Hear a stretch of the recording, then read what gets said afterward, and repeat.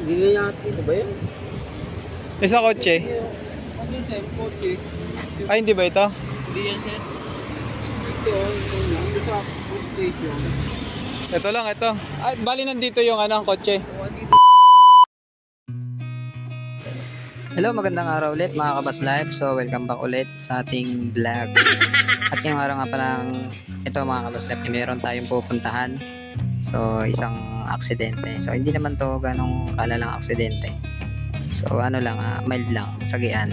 So, tayo kasi yung pinakamalapit na area na on duty inspector na mag-assist dun sa pangyayaring sagyan na yon. So, sa expressway dito sa bandang Carmona, pero yung bus po ay dadalhin sa Santa Rosa kung saan po magkakaroon ng investigasyon at malalaman kung sino ba talaga may kasalanan. So, ngayon mga kabas life po, samahan niyo po ako at ating alamin kung ano talaga ang pinaka nangyari sa aksidente na iyon. So, sakay nga pala ako dito sa 529. So, galing Santa Cruz to. So, bago ako pumunta dun eh, onboard na po ako dito sa bus na to. 529. Tinawagan po ako ng pinaka-TM ko, team leader ng Santa Cruz para puntahan yung ah, nabanggit niya sa aking aksidente. At ngayon, ito nasa expressway na po tayo. Papuntang Santa Rosa. So medyo matraffic lang talaga ngayon kasi araw ng linggo. Maraming mga pasayrong paluwas.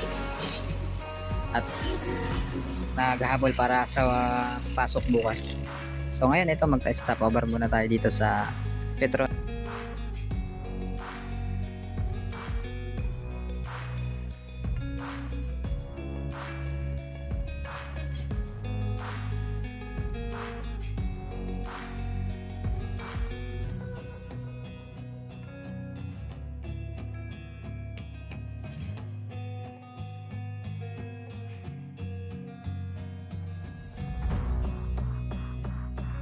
Ah, mga kabas live, si South Ruder. Yan.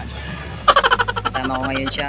At lumit, lumipat ako doon sa bus niya para mas mapabilis ako dahil yung sinakyan ko 529 eh, tumigil pa at marami pa sa umihi.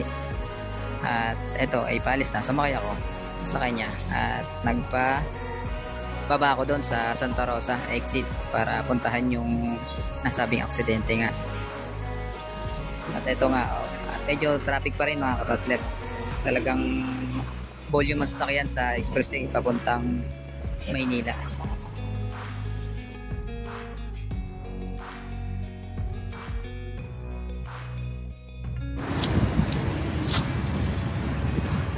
Yun. Ito, may butas.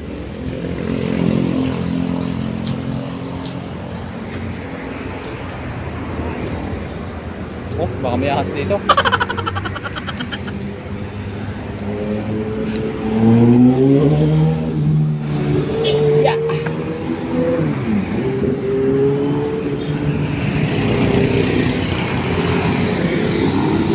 So ayan mga bus life, puntahan natin yung bus ng 735 na na-involve accident. Wala. Ayan 735. Pero ang tama nito? Saan? Sino?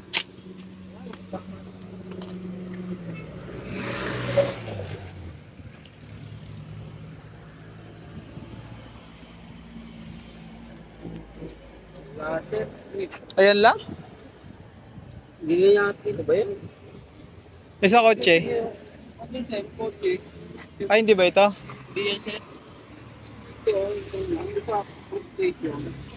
Ito lang, ito. Ay, bali nandito yung ano, ang kotse. O, dito sir. Nasa kaliwa nyo, tapos kayo nandito sa kanan. Hindi ko sir ito yung picture oh. Wala rin pala tama yun. Wala- Gas-gas wala lang. ng Tama. Yan Hindi lang. hindi rin yata ito eh. Ano ba yan? Parang luma naman to. Luma naman. Ay, bago, bago. Ito na sir. Oo. Ito yun. yun. Sabi sina, dulo na. Anong kulay ng kotse? Ito mo sir. Ipasa mo ka sa akin mga picture. Asan yung kotse? Dapat yung kotse mo. Nandun sa loob yung kotse. Paano ba pasan ito sir?